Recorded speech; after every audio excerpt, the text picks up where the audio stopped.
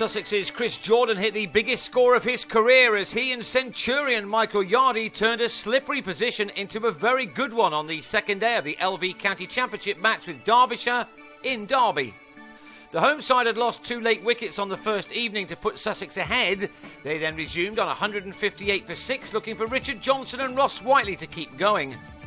Whiteley couldn't in the day's fourth over, and before he'd added to his overnight 12, he was brilliantly held by Joe Gatting to start Jordan's very good day rather well.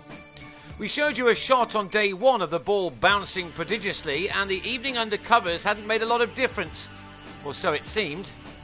So the home side may have been pleased to get to 200 with Jon Clare playing a few shots in his hour long stay with Johnson. There was some talk before the summer that the pitches in Derby might be a touch feisty, in order to help their attack.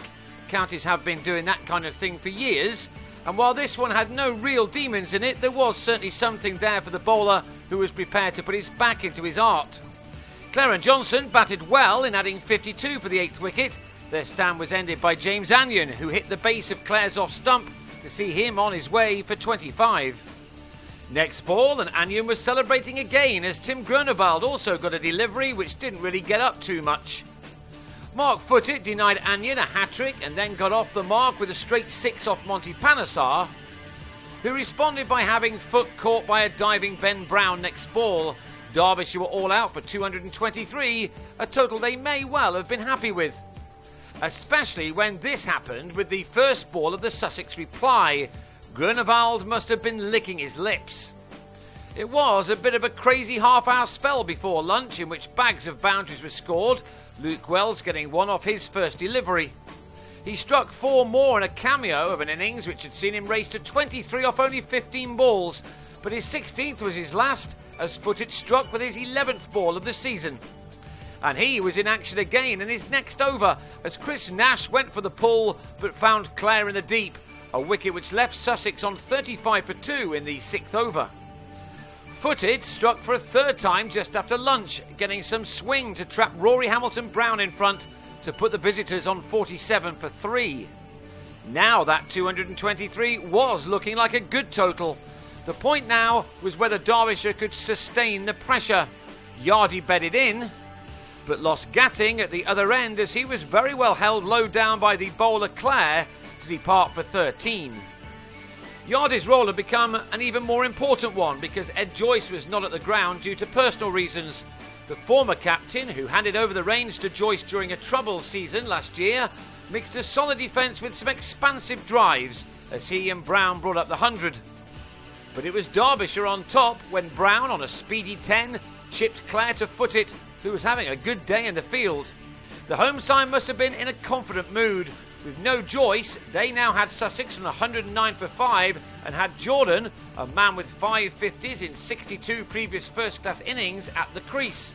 Another wicket now, and they would have felt very confident of securing an important first innings advantage, but Jordan reacted by going for some shots.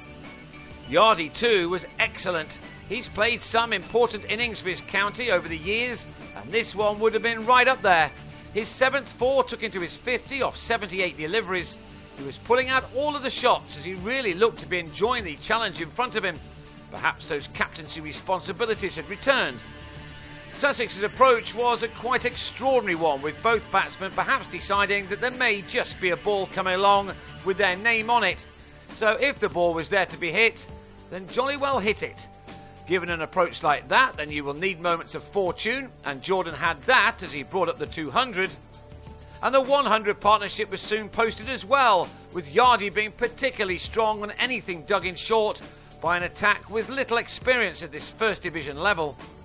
In a flash, the game had turned the way of Sussex, and now debutant Ali Evans was denied his maiden championship wicket as Yardy was dropped by Chesney Hughes at second slip. Jordan now really got his skates on He'd passed 50 for the sixth time off 60 balls, but then he really started to attack as his side moved ahead with only half of their team back in the hutch. Such was the former Surrey man's momentum that he was soon into the realms he'd never been in before. His previous best score of 79 made against Essex a couple of years ago was overtaken, and he wasted little time in the 80s either as he began to quickly turn this game on its head. Maybe, just maybe, His confidence meant that he played this shot, one which left him in some pain after being hit in the face. Before he had time to shake off the knock, a rain shower took the players off with both batsmen in the 90s. They were soon back on, and Yardy got what his player deserved 100. A little nudge had got him there off his 151st delivery. He struck 12 fours and had really changed the nature of this contest in partnership with Jordan. He deserved the accolades for his efforts. It really had been a very fine knock indeed. Jordan, on the other hand, was unable to go on to his first ever 100. Just eight runs short, his rhythm interrupted by the weather. He edged a rising ball from Groenewald to Whiteley. It ended a partnership of 179 made in only 32 overs with Yardy, Jordan's 92 had occupied just 105 balls. To their credit, Derbyshire hit back well right at the end of a long day.